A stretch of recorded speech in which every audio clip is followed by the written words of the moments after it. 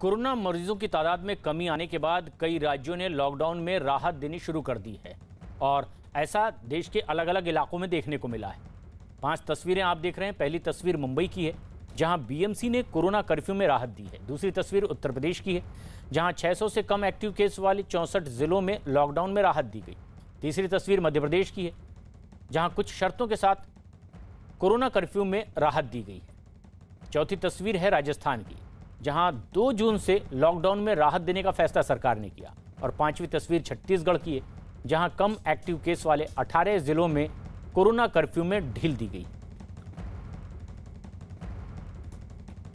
उत्तर प्रदेश में आज से अनलॉक की प्रक्रिया शुरू हो गई और आज से प्रदेश के पाँच दिन तक के अब दुकानें और बाज़ार सुबह सात बजे से शाम सात बजे तक खुले रखने के आदेश दिए गए। सरकारी दफ्तरों में सिर्फ़ 50 प्रतिशत कर्मचारियों के आने की इजाज़त है निजी दफ्तरों को भी कोरोना नियमों का सख्ती से पालन करने के निर्देश दिए गए।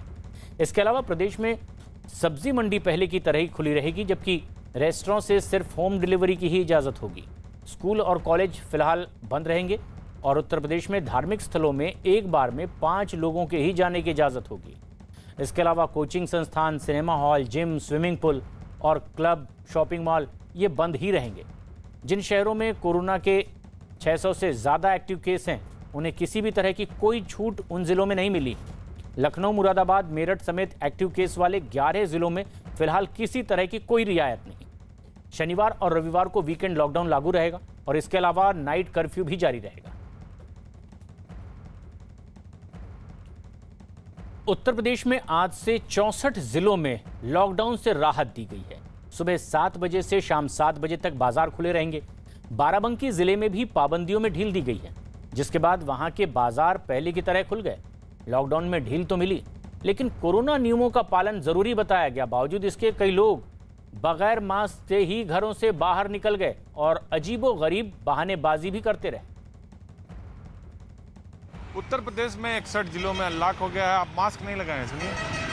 क्यों नहीं लगाया मास्क? लगाना चाहिए ना। अरे हाथ में लिए हैं महाराज जी। आप भी मास्क नहीं लगाए हैं इधर घूमिए हमारी तरफ़। इधर इधर इधर अरे हम लगा लेंगे ना अभी। इधर घूमिए तो। लोग घूम गए। हाँ मास्क लगाना चाहिए ना अभी कोविड गया नहीं कोरोना गया नहीं है। बस अभी हम वहाँ अभी तो अभी मतलब बैंक से निकले हैं ना इसीलिए तो। हाथ लगाइए अभी खतरा गया नहीं है। तो देखिए अभी भी यूपी के इकसठ जिलों में छूट दी गई है सुबह सात से शाम सात बजे तक लेकिन बहुत सारे ऐसे लोग हैं जो लापरवाही करते हैं, मास्क नहीं लगाते हैं। अलग अलग एक्सक्यूज देते हैं कि हम बैंक गए थे, हम अभी लगा लेंगे। बहुत सारे ऐसी जो चीज़ें हैं, वो बताते हैं कि हम गए थे, लेकिन बहुत लोग अनुपालन इसका नहीं कर रहे हैं। और जबकि सरकार ने कहा कि आंशिक कोरोना कर्फ्यू में आपको सोशल डिस्टेंसिंग मास्क सैनिटाइजर इन सब का प्रयोग करना, अगर आप ऐसा नहीं करते हैं तो आपके खिलाफ एपिडेमिक एक्ट के तहत कार्रवाई की जाएगी। छूट का मतलब लापरवाही नहीं है। लिहाजा आपको सावधान रहना होगा, तभी सुरक्षित रहेंगे। जब लोगों को टोका जाता है तो वो अजीब बहाने बनाते हैं।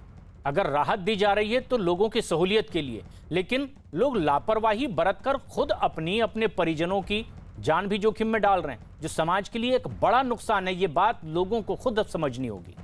उत्तर प्रदेश के दो अलग अलग इलाकों की ये तस्वीरें हम आपको दिखा रहे हैं। पहली तस्वीर तो प्रयागराज की है, जहाँ छूट के बाद लोगों ने अपनी अपनी दुकानें खोली तो दूसरी तस्वीर बाराबंकी की है, जहाँ लॉकडाउन में छूट मिलने के बाद कई लोग बगैर मास्क के ही घरों से बाहर निकल आए।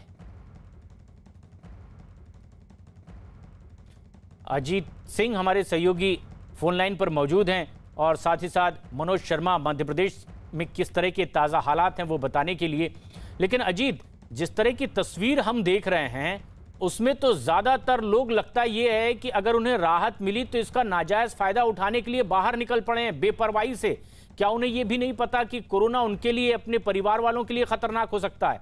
आपने तो कई लोगों को रोका भी। किस तरह की दलीलें हैं? हाँ देखिए, बिल्कुल प्रशांत, उनकी दलीलें बिल्कुल अजीबो गरीब है। कोई कहता बैंक जा रहे हैं, कोई कहता अभी लगा लेंगे, कोई कहता जेब में रखी हुई हैं। अभी भी वो खतरे को समझ नहीं रहे हैं। सरकार ने आंशिक कोरोना कर्फ्यू में इसीलिए छूट दी है। तो ये आप देख सकते हैं तस्वीरें। देखिए, अगर हमारे दाहिने तरफ़ देखें तो बहुत सारे लोग हैं। देखिए, यहाँ खड़े मास्क गले में लगाए हैं, लेकिन चेहरा नहीं ढकेंगे। कैमरे को देखकर अभी भी देखिए, पूरा मास्क इन्होंने ढका नहीं है। मास्क लगा लीजिए तो ये ये तस्वीरें हैं। आप लापरवाही खुद बरत रहे हो और इसका नतीजा ये है कि सारे लोग भुगतेंगे। आंशिक कोरोना कर्फ्यू में छूट इसलिए नहीं दी गई है कि आप मास्क ना लगाएँ। और मास्क आपको लगाना होगा क्योंकि सुरक्षित रहना, सावधान रहना। देखिए, इधर दो लोग चले आ रहे हैं। आपने मास्क क्यों नहीं लगाया? मास्क अभी मसाला खाए मांस मसाला खाए थे इसलिए हटा दिए। तो अभी भी तो हटा हाँ। नहीं रहे मुँह तो अरे तो अब तो आप भी नहीं लगाए। अरे तो मसाला खाए नहीं। मसाला खाना ज़रूरी है कि लगाना तो देखिए प्रशांत ऐसे लोग हैं जो कह रहे हैं कि मसाला खाए हैं कोई कह रहा है गुटखा खाए हैं कोई कह रहा बैंक गए हैं।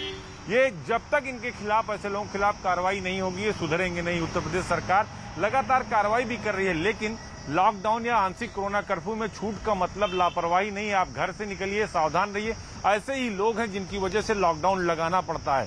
आपको छूट दी गई इतने दिनों बाद तो जो लोग दुकानदार हैं, वो तो उसका पालन करते दिख रहे हैं, लेकिन सड़क पर अभी भी बहुत सारे ऐसे लोग हैं जो मास्क लगाना ही नहीं चाहते। घरों से निकल लेंगे, उनको लगता है कि सब कुछ अब हमारे मन मुताबिक हो रहा है। तो अगर बाराबंकी की सड़कों पर देखें तो चहल पहल तो आपको दिखाई देगी, लेकिन बहुत सारे ऐसे लोग होंगे जो आपको मास्क नहीं लगा के दिखाएँगे। अगर पाँच बाइक वाले जा रहे हैं तो उसमें से दो से तीन लोग ऐसे हैं जिन्होंने मास्क लगा नहीं लगाया है। तो ये तस्वीरें बिल्कुल चौंकाने वाली है और ऐसे लोगों के खिलाफ पुलिस कार्रवाई भी करे उत्तर प्रदेश में एक हज़ार रुपये चालान भी है मास्क न लगाने पर।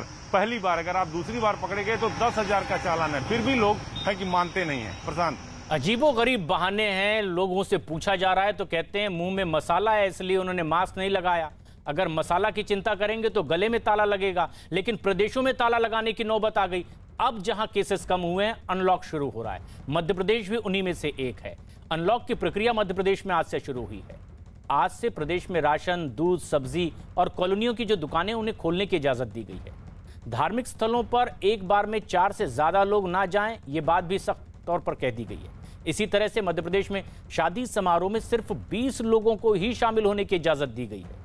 ज़रूरी सेवाओं के दफ्तरों को छोड़कर दूसरे सरकारी दफ्तरों में 100 प्रतिशत अधिकारी और 50 प्रतिशत कर्मचारियों की ही मौजूदगी की इजाज़त है। इसके अलावा, अंतिम संस्कार में 10 लोगों को ही जाने की परमिशन है। ऑटो में दो और निजी कार में तीन लोगों को सफ़र करने की इजाज़त दी गई है। मध्य प्रदेश में किसी भी स्थान पर छह से ज़्यादा लोगों के इकट्ठे होने पर प्रतिबंध है। इसके अलावा, पूरे मध्य प्रदेश में शनिवार रात 10 बजे से लेकर सोमवार सुबह 6 बजे तक कोरोना कर्फ्यू जारी रहेगा। मनोज शर्मा हमारे सहयोगी इस वक्त हमसे सीधे जुड़ रहे हैं। मनोज, कई रियायतें भी दी गई और वो इसलिए कि लोगों को कुछ राहत महसूस हो सके। लेकिन क्या इस बात को संजीदगी से लोग ले रहे हैं? बाकायदा कोरोना नियमों का पालन कर रहे हैं। प्रशांत, हाथ कंगन को आरसी क्या। मैं मतलब बाज़ार में ही आपको दिखाता हूँ कि लोग कितना जागे। पचास दिन बाद जब बाज़ार खुला तो पचास दिन बाद जब एक शख्स अपने घर से निकला तो कैसे निकला? देखिए, ऐसे निकला। कहाँ है आपका मास्क? तो गायब है। तो रखना रखना ज़रूरी है मास्क ना? जी जी। हाँ? जी। मास्क जेब में रखना बहुत ज़रूरी है ना? नहीं पहनना ज़रूरी है। तो फिर आप पहने क्यों नहीं थे? अभी गलती गुटखा आ रहा था इसलिए। अच्छा अब आप ये बताइए आपने ना पहने थे ये कोई गलती थी आपकी? नहीं थी। भाई मेरी गलती थी ना। हाँ? मेरी तो क्या कहेंगे आप हमारे सामने देख के बताइए कि लोगों को ऐसा करना चाहिए कि नहीं करना चाहिए? नहीं। हाँ? नहीं पहनी तो आप तो कर रहे थे। जी सर मेरी गलती देखिए अपनी गलती मान रहे हैं। मैं दुकानदार से पूछूँगा जब आपके पास ये आए तो आप ऐसे लोगों को सामान देने से मना करते? मना कर दिया करूँगा। बगैर उसका सामान नहीं देना चाहिए बिल्कुल। मैंने खुद ही मना कर दिया है ही नहीं सामान उसको। ये देखिए दुकानदार ने सीधे तौर पे कह दिया कि चूँकि आप मास्क नहीं पहने हुए हैं और आपको इसलिए हम सामान नहीं दे सकते और वो चले गए। उन्होंने अपनी गलती का भी एहसास किया। लेकिन कुछ ऐसे भी लोग हैं जो बाकायदा मास्क पहनते हैं। घर से बाहर निकले हैं तो पूरी तरह से मास्क लगा के बाहर निकले हुए हैं।